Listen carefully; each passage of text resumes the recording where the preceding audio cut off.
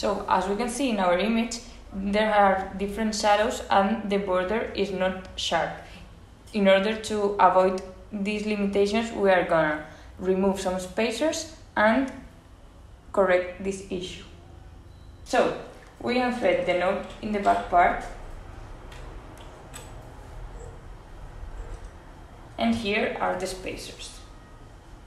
In order to verify the number of spacers we need, we just put them right next to the camera and check that they are aligned. So in our case, with one spacer is enough, so we are just gonna remove the remaining ones.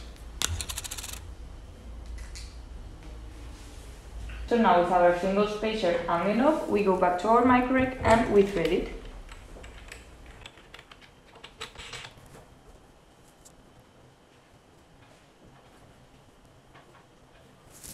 So now we can see an image with no shadows and a sharp border.